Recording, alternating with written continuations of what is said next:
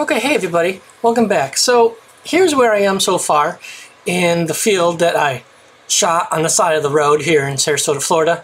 And it's obviously not perfect by any, um, you know, stretch of the imagination.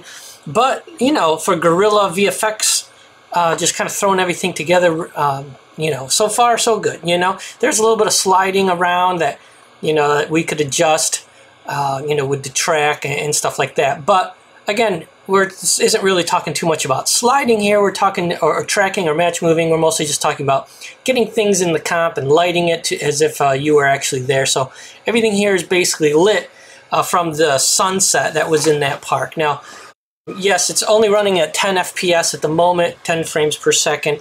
But what I'd like to do now, before we actually add sound and see it in full motion, something like that, is let's take a look at just what I built here in the Nuke script itself. Just kind of take it piece by piece.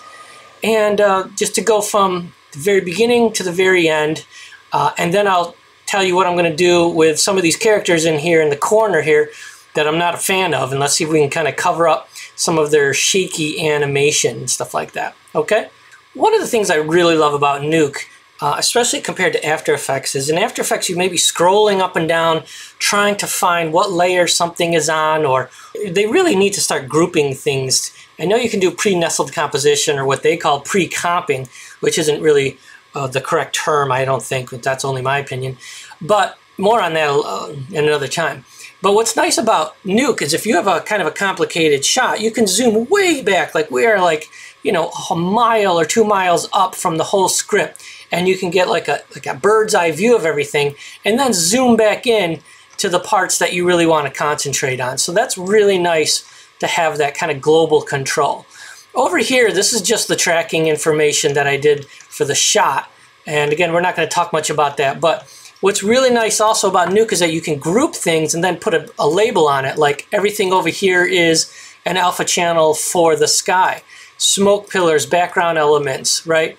the police lights, um, eye glows, the actual skeleton, you know, renders themselves. So it's pretty handy to kind of just do that, and it really helps, especially. You know, you're either going to come back to your comp in a week or two, or you're going to hand this off to someone else who's going to who needs to make an adjustment, and it's really nice to, to put labels down on everything. Uh, so let's actually just take this real quick, step by step, just to show you what I did. Here is, of course, the original iPhone footage. Now again, I put this into our Topaz AI to kind of clean up a little bit of the compression and the artifacts, but basically it's pretty much the same footage and I just kicked it out to EXRs and it's using an input transform of Rec 709 because that's what my monitor is at. But basically, there it is right there. Now I know the first thing I'm going to have to do, especially right over here, is establish a matte for the sky. I got to cut out the trees to the sky, right? So we can put more background elements in there. And, uh, you know, you always try and think of what you can do before you start rotoing anything, okay? And really all a key is, is basically just pixel contrast. So if you have any kind of tricks up your sleeve about establishing any kind of pixel contrast, that's your first kind of go-to. And, you know, people say, well, I need a blue screen or a green screen or a clean plate. Before you look to any of that stuff, you should just look to see is there a contrast in illumination values? Is something bright versus dark? Something I could pull a key on that's just difference in illumination. And basically they call that a, a illumination or a lume map. And that's what I figured I would do on this because the trees are dark and the sky is bright. Perfect opportunity to do a luma matte, right? And I'm not going to just grab like any of the luma matte tools or anything like that. I like to actually pull keys just using color correction. And all we're looking to achieve, of course, is a black and white traveling matte. So I'll show you what I did. Zooming over here, all I did is I separately shuffled out the blue channel and the red channel, although this one is actually renamed. Let's put this red. There we go. So the blue channel looks like this one, the red channel looks like that one. The reason I didn't use the green channel is because I'm looking for the highest density of contrast. And these two have a lot of contrast in their channels, especially the blue. See how dark that is? And the red?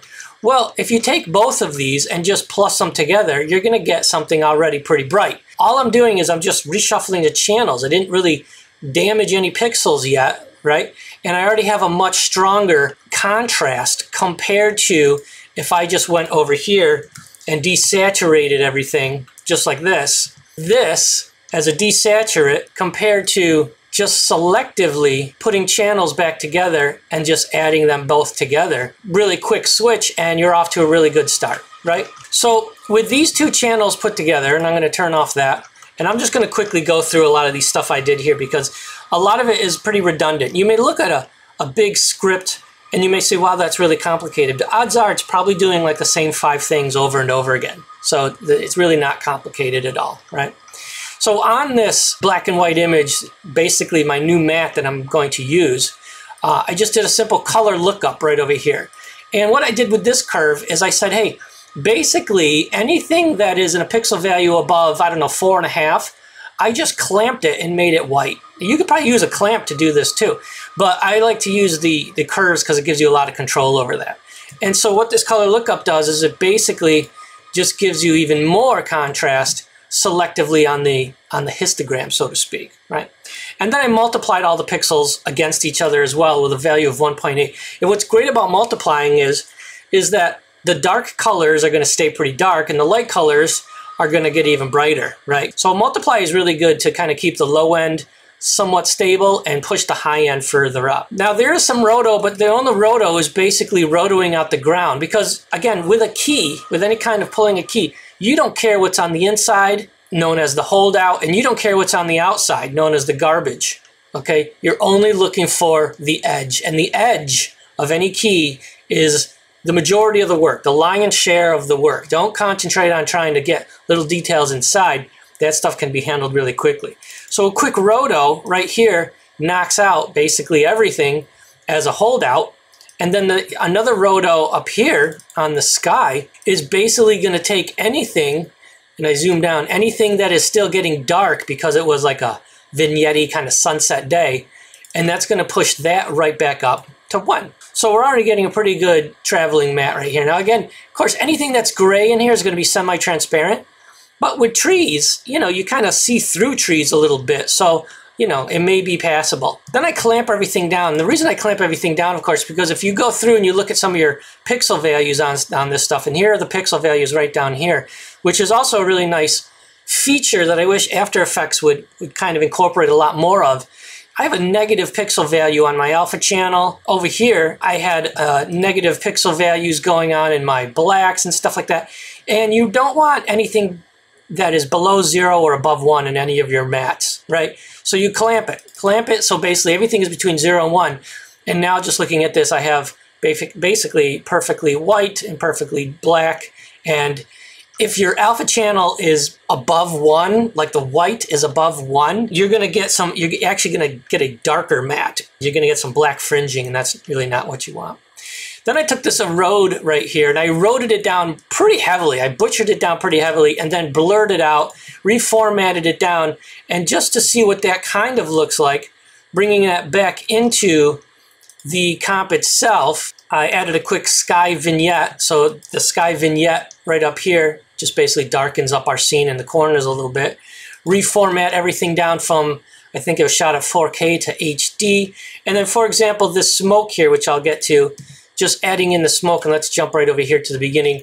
And there's our smoke, right? So turning off, you know, our smoke back and forth,